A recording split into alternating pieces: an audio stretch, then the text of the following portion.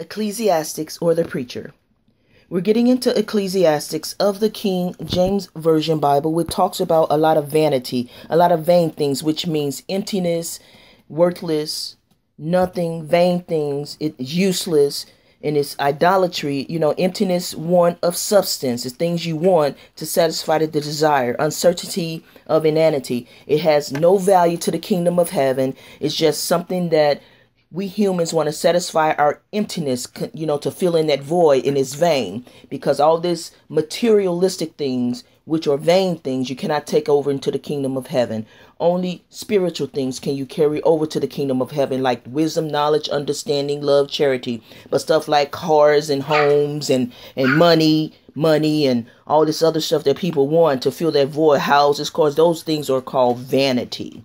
So let's get into Ecclesiastic of the King James Version Bible, chapter 1.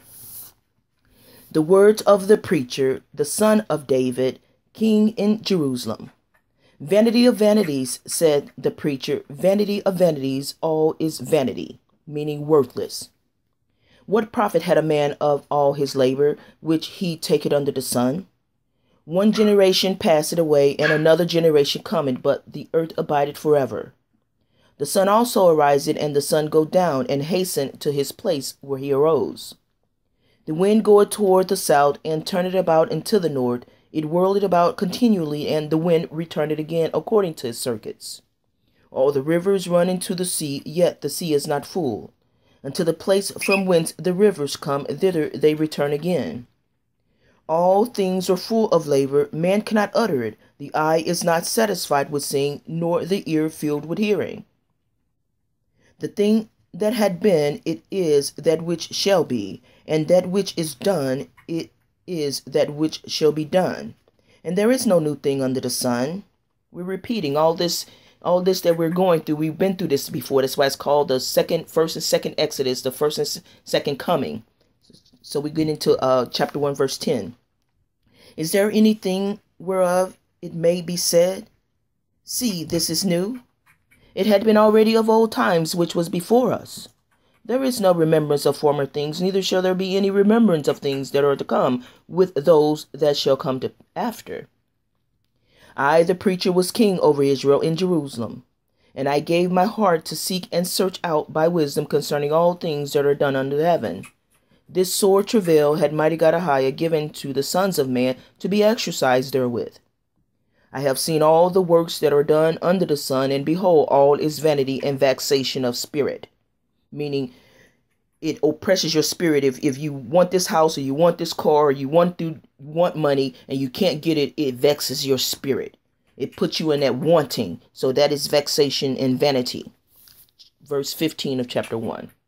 That which is crooked cannot be made straight, and that which is wanting cannot be numbered. I communed with mine own heart, saying, Lo, I am come to great estate, and have gotten more wisdom than all they that have been before me in Jerusalem. Yea, my heart had great ex- experience of wisdom and knowledge. And I gave my heart to know wisdom and to know madness and folly. I perceive that this also is vexation of spirit. For in much in for in much wisdom is much grief, and he that increaseth knowledge increaseth sorrow.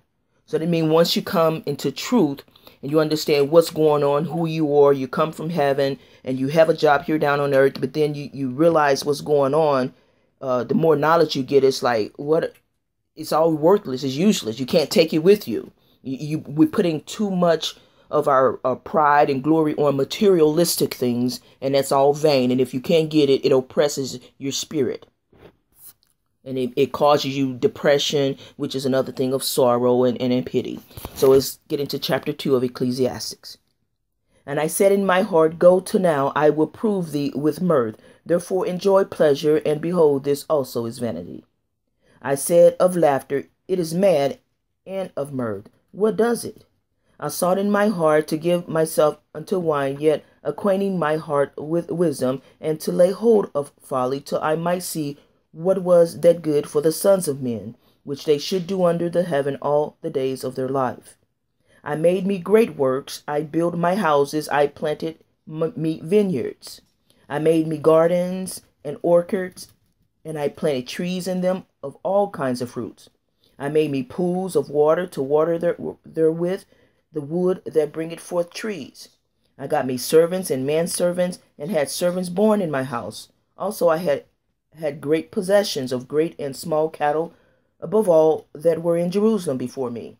I gathered me also silver and gold, and the peculiar treasure of kings and of the provinces. I got me men singers and women singers, and the delights of the sons of men as musical instruments, and that all of sorts. So I was great and increased more than all that were before me in Jerusalem. Also my wisdom remained with me. And whatsoever mine eyes desired, I kept not from them, and I withheld not my heart from any joy. For my heart rejoiced in all my labor, and this was my portion of all my labor. Then I looked on all the works that my hand had wrought, and on the labor that I had labored to do, and behold, all was vanity and vexation of spirit, and there was no profit under the sun. And I turned myself to behold wisdom and madness and folly. For what can the man do that cometh after the king? Even that which had been already done. Then I saw that wisdom ex- excelled folly as far as light excelled darkness. The wise man's eyes are in his head, but the fool walketh in darkness. And I myself perceive also that one event happened to them all. Then said I in my heart, As it happened to the fool, so it happened even to me. And why was I then more wise? Then I said in my heart that this also is vanity, worthless, meaning nothing. For there is no remembrance of the wise more than of the fool forever, seeing that which now is in the days to come shall all be forgotten. And how did the wise man? How dieth the wise man as the fool? Therefore I hated life, because the work that is wrought under the sun is grievous unto me, for all is vanity and vexation of spirit. Yea, I hated all my labor which I had taken under the sun, because I should leave it unto the man that shall be after me. And who know whether he shall be a wise man or a fool? Yet shall he have rule over all my labor where I have labored, and wherein I have showed my, myself wise under the sun? This is also vanity. Therefore I went about to cause my heart to despair of all the labor which I took under the sun. For there is a man whose labor is in wisdom and in knowledge and in equity, yet to a man that had not labor therein shall he leave it for his portion. This also is vanity and a great evil. For what had a man of all his labor and of the vexation of his heart, wherein he had labored under the sun? For all his days are sorrows, and his travail grief, yea, his heart taketh not rest in the night. This is also vanity, which is worrying about what you're going to do, how you're going to get it done. You know, a lot of this stuff is vanity. We're putting too much effort on materialistic things. It's okay to open your business and enjoy your labor after you build your business, enjoy your labor. But if you put too much pride in it, it, it it's worthless. It's useless. You can't take it. It's just enjoy for the moment of the labor. Because once you're done with it and you die, you're gone. They're not going to remember you. It's going to be left to the person, you know, whoever you leave after you die. So let's get into verse 24 of chapter 2. There is nothing better for a man than that he should eat and drink, and that he should make his soul enjoy good in his labor. This also I saw that it was from the hand of mighty God Ahayah. For whom can eat, or who else can hasten hereunto more than I? For mighty God Ahayah give it to a man that is good in his sight wisdom and knowledge and joy, but to the sinner he giveth travail to gather and to heap up that he may give to him that is good before mighty God Ahayah. This also is vanity and vexation of spirit. Chapter 3 To everything there is a season and a time to every purpose under the heaven, a time to be born and a time to die, a time to plant and a time to pluck up that which is planted, a time to kill and a time to heal, a time to break down and a time to build up a time to weep and a time to laugh, a time to mourn and a time to dance, a time to cast away stones and a time to gather stones together, a time to embrace and a time to refrain from embracing, a time to get and a time to lose, a time to keep and a time to cast away, a time to rend and a time to sow, a time to keep silence and a time to speak, a time to love and a time to hate, a time of war and a time of peace. What profit had he that worked in there wherein he labored? I have seen the travail which mighty God had given to the sons of men to be exercised in it. He had made everything beautiful in his time. Also, he had set the world in their heart, so that no man can find out the work that mighty God Ahayah make it from the beginning to the end. I know that there is no good in them, but for a man to rejoice and to do good in his life, and also that every man should eat and drink and enjoy the good of all his labor. It is the gift of mighty God Ahayah. I know that whatsoever mighty God Ahayah do it, it shall be forever. Nothing can be put to it nor anything taken from it. And mighty God Ahayah do it, that men shall fear before him. That which had been is now, and that which is to be had already been, and mighty God Ahayah required that which is past.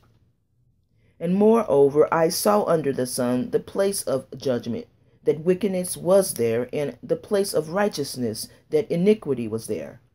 And I said in my heart, Mighty God Ahayah should judge the righteous and the wicked. For there is a time that for every purpose and for every I said in my heart concerning the estate of the sons of men, that mighty God Ahayah might manifest them, and that they might see that they themselves are beasts. For that which befalleth the sons of men befalleth beast. Even one thing befalleth them as the one dieth, so dieth the other. Yeah, they have all one breath, so that a man had no preeminence above a beast, for all is vanity. All go into one place, all are of the dust, and all turn to dust again. Who knoweth the spirit of man that goeth upward, and the spirit of the beast that goeth downward to the earth? Wherefore I perceive that there is nothing better than that of a man should rejoice in his own works, for this is his portion, for who shall bring him to see what shall be after him? Chapter 4 So I turned and considered all the oppressions that are done under the sun, and behold, the tears of such as were oppressed, and they had no comforter. And on the side of their oppressors there was power, but they had no comforter. Wherefore I praise the dead which are already dead more than the living which are yet alive. Yea, better is he that both they which had not yet been, who had not seen the evil work that is done under the sun.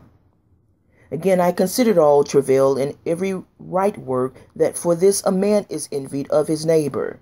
This is also vanity and vexation of spirit. The fool folded his hands together and eated his own flesh. Better is an handful with quietness than both the hands full with travail and vexation of the spirit.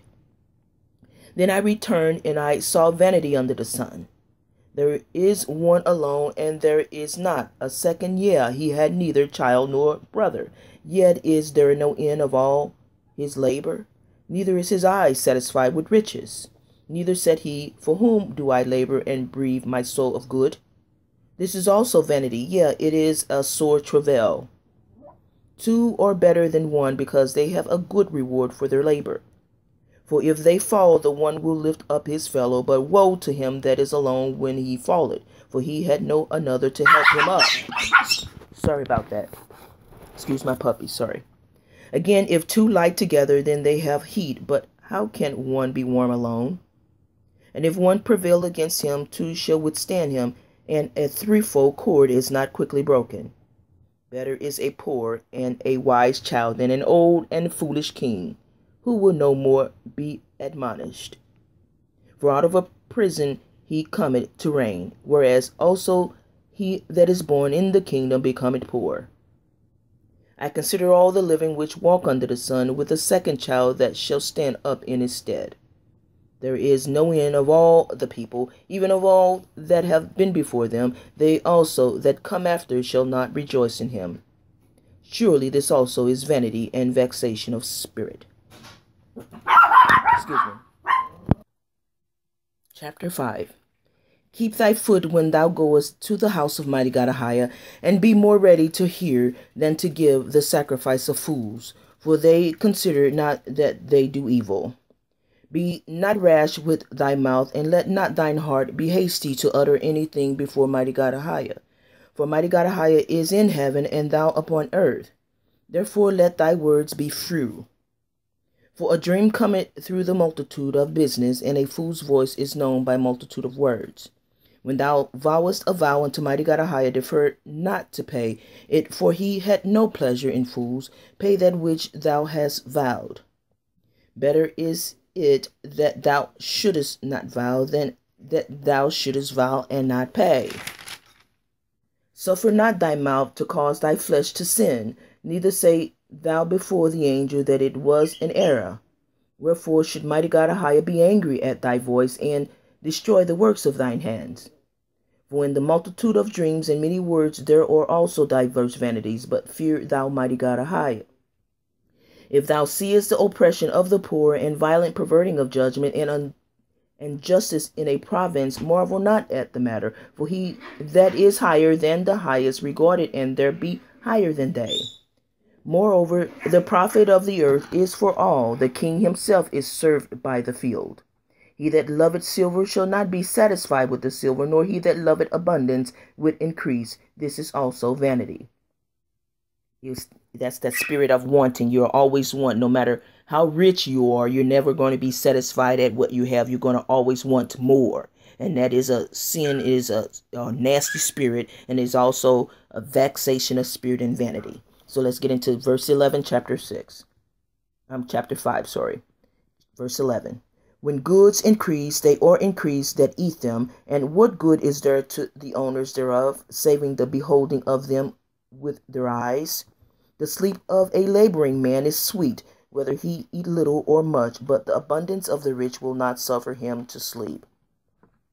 There is a sore evil which I have been under the sun, namely riches kept for the owners thereof to their hurt. But those rich riches perish by evil travail, and he begetted a son, and there is nothing in his hand.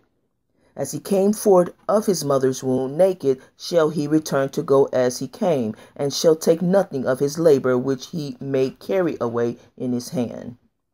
And this also is a sore evil that is all points as he came, so shall he go. And what profit had he that had labored for the wind? All his days also he eated in darkness, and he had much sorrow and wrath with his sickness. Behold, that which I have seen, it is good and comely for one to eat and to drink, and to enjoy the good of all his labor that he taketh under the sun all the days of his life, which mighty God Ahayah giveth him, for it is his portion. Every man also to whom mighty God Ahayah had given riches and wealth, and had given him power to eat thereof, and to taste his portion, and to rejoice in his labor, this is the gift of mighty God Ahayah. For he shall not much remember the days of his life, because mighty God Ahayah answered him in the joy of his heart. Chapter 6 There is an evil which I have seen under the sun, and it is common among men and man to whom mighty God Ahayah given riches, wealth, and honor, so that he wanted nothing for his soul of all that he desired, yet mighty God Ahayah given him not power to eat thereof, but a stranger eateth it. This is vanity, and it is an evil disease. For if a man beget an hundred children and live many years, so that the days of his years be many, and his soul be not filled with good, and also that he have no burial, I say that an untimely birth is better than he. For he cometh in with vanity and departed in darkness, and his name shall be covered with darkness. Moreover, he had seen moreover he had not seen the sun nor known anything this had more rest than the other. Yea, though he live a thousand years twice told, yet had he seen no good, do not all go to one place?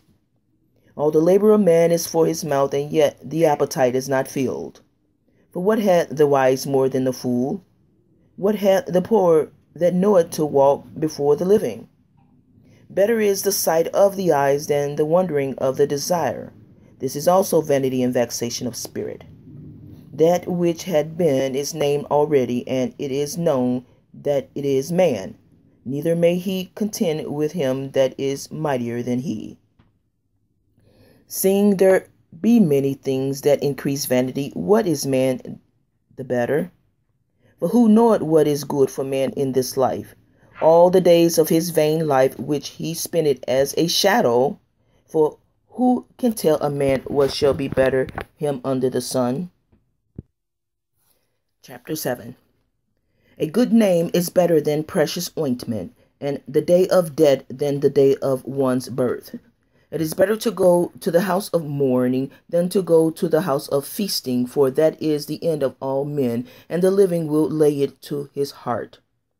Sorrow is better than laughter, for by the sadness of the countenance the heart is made better.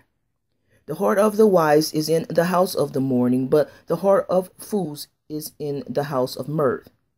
It is better to hear the rebuke of the wise than for a man to hear the song of fools.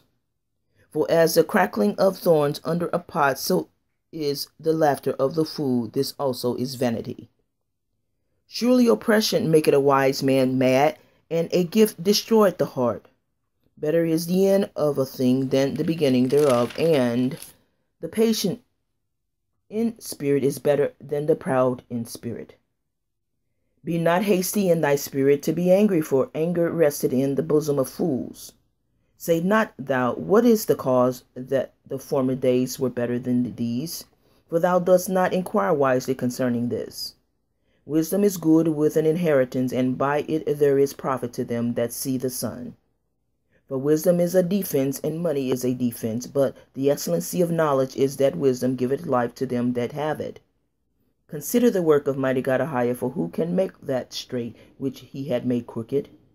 In the day of prosperity be joyful, but in the day of adversity consider.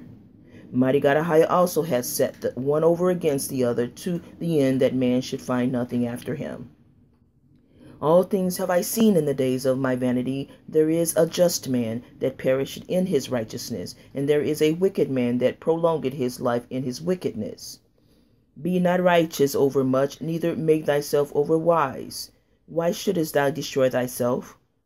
Be not over much wicked, neither be thou foolish. Why shouldest thou die before thy time? It is good that thou shouldest take hold of this, yea, also from this withdraw not thine hand for he that feareth mighty God Ahayah shall come forth of them all. Wisdom strengthened the wise more than ten mighty men which are in the city. For there is not a just man upon earth that doeth good and sinneth not. Also take no heed unto all words that are spoken, lest thou hear thy servant curse thee. For oftentimes also thine own heart knoweth that thou thyself likewise hast cursed others.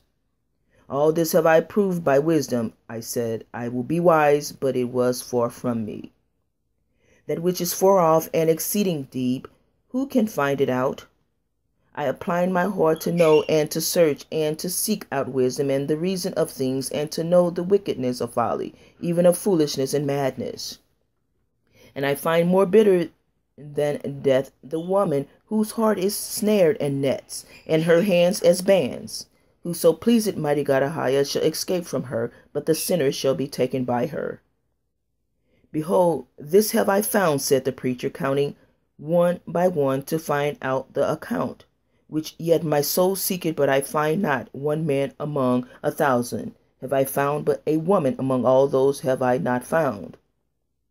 Lo, this only have I found, that mighty God Ahayah had made man upright, but they have sought out many inventions. Chapter 8 Who is as the wise man, and who knoweth the interpretation of a thing? A man's wisdom maketh his face to shine, and the boldness of his face shall be changed. I counsel thee to keep the king's commandment, and that in regard of that oath of mighty God Ahayah. Be not hasty to go out of his sight, stand not in an evil thing, for he doeth whatsoever pleaseth him. Where the word of a king is, there is power, and who may say unto him, what doest thou? Whoso keepeth the commandment shall feel no evil thing, and a wise man's heart discerneth both time and judgment. Because to every purpose there is a time and judgment, therefore the misery of man is great upon him. For he knoweth not that which shall be, for who can tell him when it shall be? There is no man that had power over the Spirit to retain the Spirit, neither had he power in the day of his death. And there is no discharge in that war, neither shall wickedness deliver those that are given to it. All this have I seen, and I applied my heart unto every work that is done under the sun. There is a time wherein one man ruled over another to his own hurt. And I and so I saw the wicked buried, who had come and gone from the place of the holy, and they were forgotten in the city where they had so done. This is also vanity. Excuse me. Because sentence against an evil work is not executed speedily, therefore the hurt. Uh, I'm sorry, excuse me. I'm going to back that up. Verse 11. Because sentence against an evil work is not executed speedily, therefore the heart of the sons of men is fully set in them to do evil. Though a sinner do evil an hundred times, and his days be prolonged, yet surely I know that it shall be well with them that fear mighty God Ahayah, which fear before him. But it shall not be well with the wicked, neither shall he prolong his days, which are as a shadow, because he feared not mighty God Ahayah. There is a vanity which is done upon the earth, that there be just men, unto whom it happen according to the work of the wicked. Again, there be wicked men to whom it happened according to the work of the righteous. I said that this also is vanity. Then I commend mirth because a man had no better thing under the sun than to eat and to drink and to be merry, for that shall abide with him of his labor the days of his life, which mighty God Ahayah given him under the sun when I applied mine heart to know wisdom and to see the business that is done under the earth, for also there is that neither day nor night seat sleep with his eyes. Then I beheld all the work of mighty God Ahayah, that a man cannot find out the work that is done under the sun, because though a man labor to seek it out, yet he shall not find it. Yea, farther, though a wise man think to know it, yet shall he not be able to find it. Chapter 9 for all this I considered in my heart, even to declare all this, that the righteous and the wise and their works are in the hand of mighty God Ahayah. No man knoweth either love or hatred by all that is before them. All things come alike to all. There is one event to the righteous and to the wicked, to the good and to the clean, and to the unclean, to him that sacrificeth, and to him that sacrificeth not. As is the good, so is the sinner, and he that sweareth, as he that fear it an oath. This is an evil among all things that are done under the sun, that there is one event unto all. Yea, also the heart of the sons of men is full of evil, and madness is in their heart while they live, and after they go to the dead. For to him that is joined to all the living there is hope, for a living dog is better than a dead lion. For the living know that they shall die, but the dead know not anything, neither have they any more a reward for their memory, for the memory of them is forgotten. Also their love and their hatred and their envy is now perished, neither have they any more a portion forever in anything that is done under the sun. Go thy way, eat thy bread with joy, and drink thy wine with a merry heart, for mighty God Ahayah now accepteth thy works. Let thy garments be always white, and let thy head lack no ointment. Live joyfully with the wife whom thou lovest all the days of thy life of thy vanity, which is which he had given thee under the sun all the days of thy vanity. For that is thy portion in this life, and thy labor which thou takest under the sun. Whatsoever thy hand findeth to do, do it with the might with thy might, for there is no work, nor device, nor knowledge, nor wisdom in the grave whither thou goest. I returned and saw under the sun that the race is not to the swift, nor the battle to the strong, neither yet bread to the wise, nor yet riches to men of understanding, nor yet favor to men of skill, but time and chance happen to them all. For man also knoweth not his time, as the fishes that are taken in an evil net, and as the birds that are caught in the snare, so are the sons of men snared in an evil time, when it falleth suddenly upon them. This wisdom have I seen also under the sun, and it seemed great unto me. There was a little city and few men within it, and there came a great king against it, and besieged it, and built great bulwarks against it. Now there was found in it a poor wise man, and he by his wisdom delivered the city, yet no man remembered that same poor man. Then said I, Wisdom is better than strength, Nevertheless, the poor man's wisdom is despised, and his words are not heard. The words of wise men are heard in the excuse me, verse 17. The words of wise men are heard in quite more than the cry of him that ruleth among fools. Wisdom is better than weapons of war, but one sinner destroyed much good. Chapter 10 Dead flies cause the ointment of the apothecary to send forth a stinking savor. So doth a little folly him that is in reputation for wisdom and honor. A wise man's heart is at his right hand, but a fool's heart at his left. Yea, also when he that is a fool walketh by the way, his wisdom faileth him, and he said to every one that he is a fool. If the spirit of the ruler rise up against thee, leave not thy place, for yielding pacifieth great offences. There is an evil which I have seen under the sun, and an error which proceeded from the ruler. Folly is set in great dignity, and the rich sit in low place. I have seen servants upon horses, and princes walking as servants upon the earth. He that digged a pit shall fall into it, and whoso breaketh an hedge, a serpent shall bite. Whoso removeth stones shall be hurt with therewith, and he that cleaveth wood shall, shall be endangered thereby.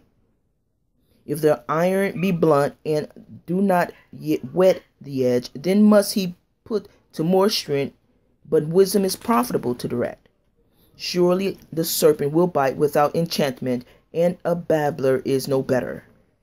The words of a wise man's mouth are gracious, but lips of a fool will swallow up himself.